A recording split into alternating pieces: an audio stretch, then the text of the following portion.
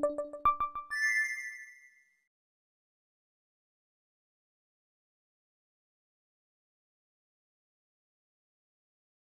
ぱりいきなりネットとか雇用情報を出してどういう団体なのか分からないっていうのはよくあるじゃないですか。それよりはやっぱちゃんと顔合わせて自分はこういうあのなんかやっぱり顔合わせながら話してどういうプログラムなのかどのぐらい経費かかるのかとかっていうのも直接お話ししてもらえればなと。そしたらお互い安心してね雇用に来てもらってわーってなるしサークルみたいな本で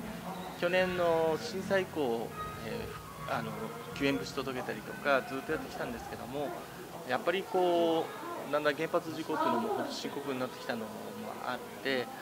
でやっぱり少しでも知識つけてもらったりとか自分でどうやって予防していったらいいのかっていうことをずっとねイベントを通じて、まあ、いろいろ伝えてきた感じなんですね。今はあのメインとしては雇用のお手伝いとかあとはこういうイベントを開催したりとか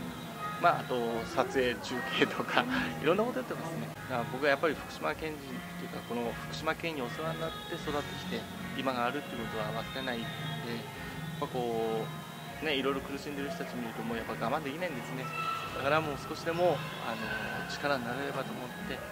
いろいろサポートさせてもらってるんです、はい、311から本当震災そしてその原発事故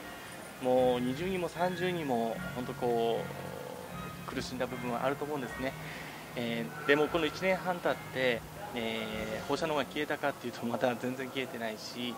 えー、まだまだその不安に思っている方ってのはいると思うんですね。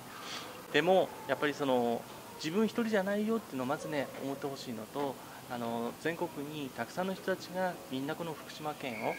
不安に思ってる人たちも含めてあのリフレッシュ企画とかしてくれたりしてあのみんながこうつながってるよっていう人たちがたくさんいるってことをね忘れないでほしいんですね。で甘える部分は甘えてもいいし思いっきりこうね気分リフレッシュするだけでも違うと思うんですよね。でそういう意味では本当にその一人で悩まないっていうことが僕は一番大事だと思うんでぜひ遠慮なく僕たちにもご相談してほしいしね、どっか保養情報ないですかっていうのもあったら僕たちもどんどん提供していくしこういう楽しいイベントないですか？っていうのもどんどん発信していきますからぜひみんなで一緒にこのまああの難局を乗り切っていければなと思いますので、えー、ぜひ頼れる部分はどんどん頼っていただきたいなっていうふうに思ってます。